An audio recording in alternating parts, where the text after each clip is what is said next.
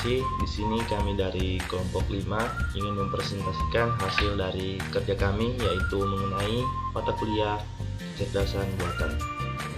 Di sini juga kami akan membahas mengenai game yang kami pilih yaitu game Ludo King. Nah, Ludo King ini kan adalah game Android yang biasa kita mainkan bersama teman-teman. Nah, dan juga untuk mempersingkat waktu di sini uh, ada yang pertama ada Ilham Abdilasani, yang kedua ada Muhammad Tersatria saya sendiri dan yang ketiga ada Olive Angelson dan yang terakhir ada saudara Farul Rozi. Nah, di sini kami akan membahas beberapa beberapa topik mulai dari pengantar kecerdasan buatan mengenai algoritma dan juga mengenai penerapan dari algoritma yang digunakan oleh game yang kami pilih ini, yaitu game Ludo King. Tanpa berlama-lama, marilah kita masuk ke penjelasannya yaitu yang akan dijelaskan oleh saudara saya yaitu saudara Ilham Abdilasani mengenai pengantar kecerdasan buatan. Kepada saudara saya persilakan.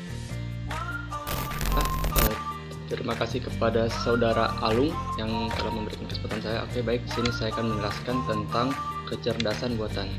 Kecerdasan buatan atau artificial intelligence AI adalah simulasi dari kecerdasan yang yang dimiliki oleh manusia yang dimodelkan di dalam mesin dan diprogram agar bisa berpikir seperti halnya manusia.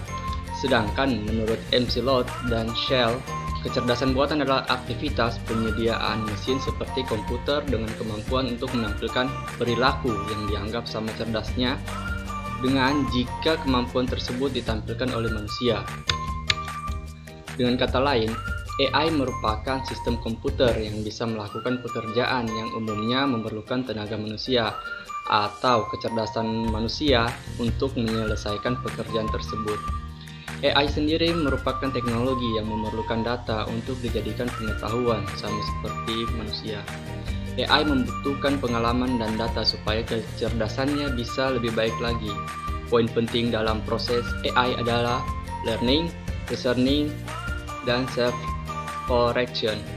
AI perlu belajar untuk memperkaya pengetahuannya.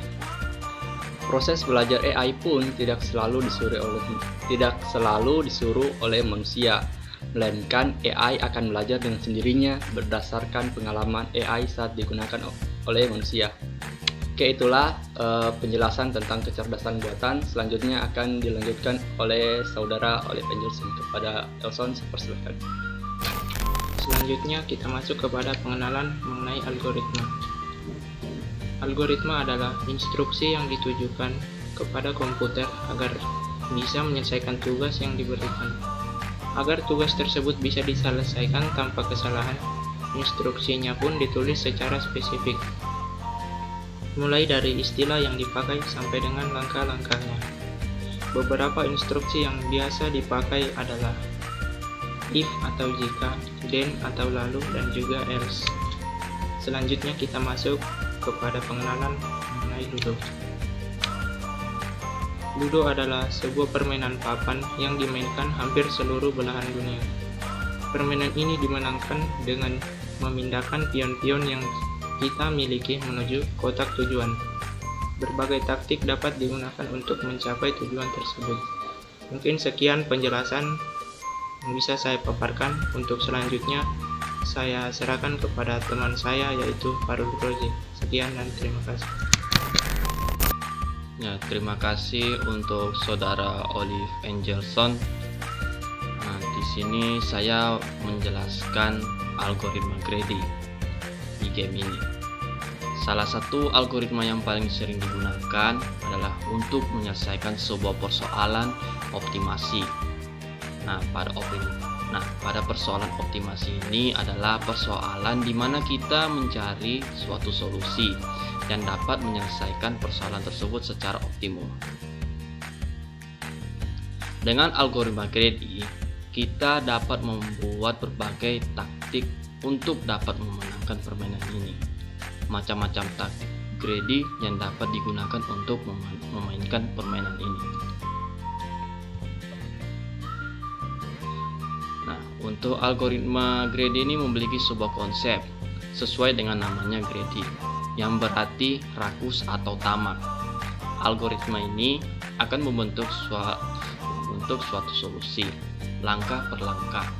Pada setiap langkah penyelesaian ini, masalah yang terdapat banyak pilihan. langkah yang dapat kita ambil. Pada algoritma ini, kita berusaha mengambil keputusan terbaik yang dapat diambil pada saat ini. Pengambilan langkah terbaik pada saat ini disebut optimum lokal. Dengan mengambil langkah yang memberikan optimum lokal. Pada setiap langkah yang diharapkan kita dapat mencapai optimum global pada game ini. Nah, untuk penjelasan selanjutnya akan dijelaskan oleh saudara Ilham Abdilasani. Untuk kepada Ilham Abdilasani saya persilakan. Oke, terima kasih kepada saudara Fahrul. Oke, selanjutnya saya akan membahas tentang penerapan algoritma, algoritma. Nah, pada permainan Ludo ini, eh, penerapan algoritma Grady terbagi menjadi tiga, yaitu algoritma Grady by one leave behind yang pertama, yang kedua adalah algoritma Grady by hitter, terus yang ketiga adalah algoritma Grady by quick move. Terdapat beberapa taktik yang mengimplementasikan Grady untuk menyelesaikan permainan Ludo ini. Setiap taktik berisi cara yang berbeda-beda. Pada bagian ini akan dibahas beberapa cara penyelesaian tersebut. Sebelumnya akan dibahas struktur data permainan Ludo ini. Pada permainan Ludo ini terdapat kelas pion yang memiliki atribut berupa posisi pion. Kelas pion ini akan memiliki akan dimiliki oleh kelas pemain yang memiliki arah yang berisi 4 buah pion. Kelas pemain juga memiliki prosedur melangkah yang akan mengubah posisi pion pada kelas papan. Terakhir, terdapat kelas dadu yang akan mengacak angka dan dapat diambil oleh kelas lain. Nah, penerapan yang pertama yaitu algoritma Grady by no one leave behind yang di mana algoritma ini akan berusaha untuk menggerakkan semua pion menuju titik tujuan bersama-sama. Setiap langkah yang dapat diambil digunakan untuk menggerakkan semua pion agar semakin dekat dengan tujuan. Sebelum melangkah, dipilih pion dengan prioritas tertinggi. Pion dengan prioritas tertinggi adalah pion yang paling belakang dan dapat melangkah. Dengan memilih pion paling belakang, kita melangkah dengan tujuan, seluruh pion bergerak bersama menuju tujuan. Nah, berikut ini adalah contoh dari penerapan algoritma Grady by no one leave behind. Nah, di mana pion pion merah dan kuning akan menuju ke tujuan yang mereka tuju. Seperti ini. Nah, pion merah menuju ke tujuan uh, uh, ke tujuan apa kotak hijau sedangkan uh, pion kuning menuju ke tujuan kotak biru Oke selanjutnya adalah penerapan dari algoritma Grady by hitter yang di mana algoritma ini akan berusaha untuk menggerakkan pion agar dapat memukul pion pemain lain. Pemilihan pion yang dikerahkan adalah berdasarkan prioritas prioritas tergantung kondisi pion saat ini.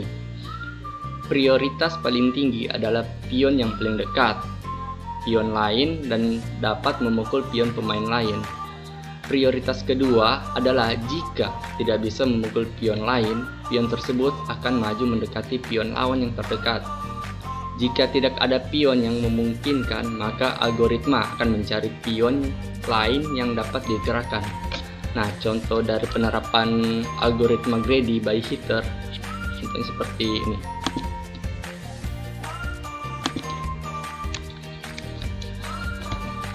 Nah, di mana uh, di mana pion berwarna kuning akan menuju ke kotak uh, pion merah sehingga pion kuning pion kuning dapat memukul pion merah kembali ke base awalnya. ataupun sebaliknya pion merah dapat memukul pion kuning sehingga pion kuning e, akan menuju ke ke base awalnya. Oke sekian dari penjelasan dua penerapan algoritma Grady. Selanjutnya saya serahkan kepada teman saya saudara Alung. Kepada Alung saya persilahkan uh, baik. Terima kasih kepada saudara Ilham di mana saudara Ilham telah menjelaskan dua algoritma pada game Ludo King ini. Di mana di sini saya akan melanjutkan dari algoritma yang ketiga. Algoritma ketiga yaitu greedy by quick move. Nah, greedy by quick move ini merupakan algoritma yang akan berusaha untuk menggerakkan pion secepat mungkin menuju tujuan atau finish. Nah, kemudian pemilihan pion yang akan digerakkan berdasarkan prioritas. Nah, prioritas itu merupakan prioritas tertinggi, yaitu adalah pion yang dapat bergerak dan berada paling dekat dengan tujuannya, seperti yang saya bilang tadi. Dengan menggerakkan pion yang paling dekat dengan kotak tujuan, kita akan lebih cepat mencapai tujuannya. Nah, selama pion yang paling dekat dengan kotak tujuan tidak terhalangi, dan kemudian maka seluruh langkah yang dapat diambil akan digunakan untuk memajukan pion tersebut. Nah, apabila jika tidak ada yang bisa bergerak, maka algoritma akan menggerakkan pion lainnya. Sejumlah angka yang tertera di dua atau sisa langkah yang dapat diambil. Nah, mungkin bisa dipahami dari greedy by quick move ini Nah, kemudian untuk contoh penerapan dalam gamenya seperti uh, berikut ini. Nah, ini untuk men, apa contoh penjelasan dari contoh greedy by quick move di mana uh, di sini ada terdapat pion kuning dan juga pion merah. Nah, di sini pion kuning mendapat uh, mendapat 5. Nah, kenapa 5? Di sini kan pion yang ada pada sudah mencapai finish kan ini sudah tidak bisa lagi. Maka dia akan menggerakkan pion yang paling prioritas di mana pion prioritas itu merupakan pion yang lainnya seperti pion kuning ini.